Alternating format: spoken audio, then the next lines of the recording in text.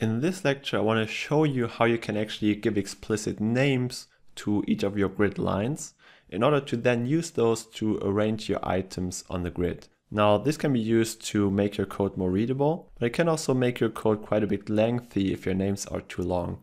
So you're going to have to decide for yourself uh, if you find these useful or not.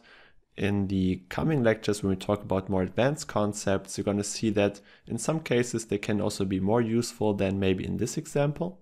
But for now, let's only take a look at how you can actually use those. So when we define our rows here, for example, then again, which is very new in CSS, you can use square brackets here to then inside here define the name of the first row, or rather the first line. So this is now the name for this grid line on top here, the first horizontal line.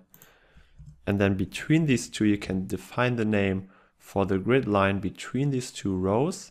So for example, I could say row 1 end. And you can give multiple names. So for example, I may also want to use row 2 start for this.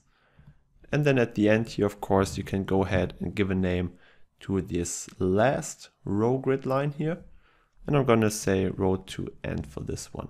Now, similarly, you could do the same thing for columns here, like col1 start and so on but I'm not going to do this right now in order to keep the code a bit more concise for you to be able to follow along the main concepts. So now whenever I'm using, let's say grid row start 2 here, I could now also use either row 1 end or row 2 start in order to do the same thing.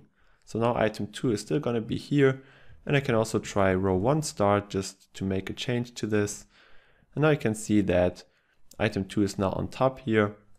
But let's go back to our previous layout in this case. So that's now just basically an alias for the number 2 in this case. And row end here is actually set to 4 for which we don't have a name because that's outside of the actual grid that we have defined. Now grid column start, I didn't give any names to those, but down here you could now replace grid row 1, 2. So to place the fifth item here in the first row, you could say you want this to span from row 1 start all the way to row 1 end. Now this makes it a bit clearer that this is just going to be row 1, but it also makes your code quite a bit more lengthy. So you're to have to weigh the benefits and the drawbacks of this. And as I said later on, we're to see how you can use naming like this in a more useful way. Now, of course, if you're sketching a whole website layout, then, well, for the columns at least, this might be something like sidebar. Then you could say content start.